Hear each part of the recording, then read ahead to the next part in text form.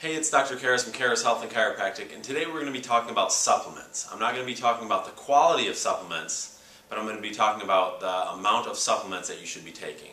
A lot of people come in and are taking supplements, but when I ask them how much of a certain supplement they're taking in grams or milligrams or IUs, depending on the type of supplement, then they're typically not taking enough of that supplement to help with the condition that they're taking the supplement for. And so today, today I'm going to be using omega-3s as, as, an example. You know, a lot of people come in and they're taking omega-3s. The fish oil is what they're, what they're known as.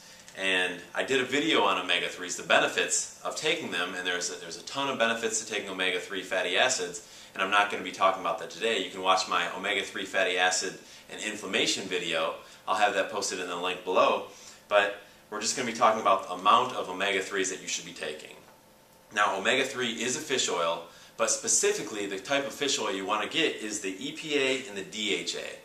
And so that's eicosapentaenoic acid and docosahexaenoic acid. You don't have to know that word, you just have to know EPA and DHA is what you're looking for. Now, typically, when someone's taking a fish oil, they should be getting between 1 and 3 grams of fish oil a day. Now, the, the confusion comes in when you're looking at the front of a, a fish oil supplement, it's going to say, you know, 1200 milligrams of fish oil or 1 gram of fish oil, 1.2 grams of fish oil. Whatever it says in the front, that can be misleading. Even though it says 1200 milligrams of fish oil on the front, you have to flip the, the container over and you have to look at the back. And now the, the two different concentrations I want you to look at are EPA and DHA. EPA, like I just said, is one of the good fish oils in DHA. So you want to find the amounts on the fish oil, on the back. And then you calculate how much those are in total for one supplement. So one pill in here has 360 milligrams of EPA and it has 240 milligrams of DHA. So you add those together, that's 600 milligrams, 0.6 grams. And the goal, like I said, you want to get 1 to 3 grams of fish oil. So even though it says 1200 milligrams on the front of fish oil, that's not actually correct because you want to calculate these. So it's actually only 600 milligrams of fish oil that you're getting in one pill. So to get over one gram of fish oil, you would have to take two of these a day.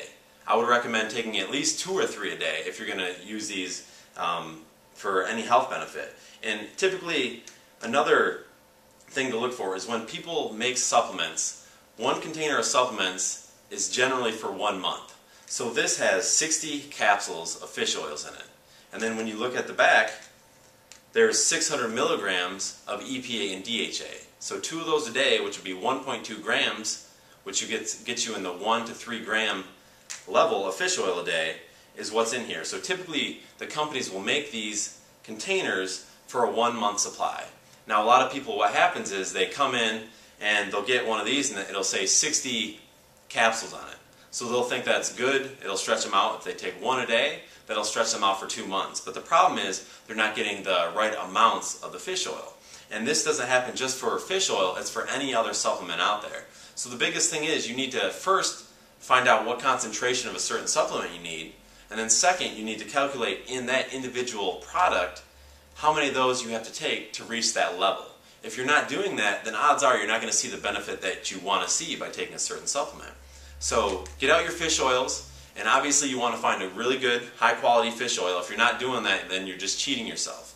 If you're going to a local store and you're not getting a good quality fish oil, then you're not going to get the benefit in general. But get the fish oil out, calculate how much EPA, DHA is in one capsule, and figure out how many of those capsules you have to take a day to get you in the 1 to 3 gram area for that given day for that supplement. But it goes for all supplements. You should have a certain amount. So go home and look at your supplements. And if you have any questions, give me a call, get, shoot me an email, and uh, let me know.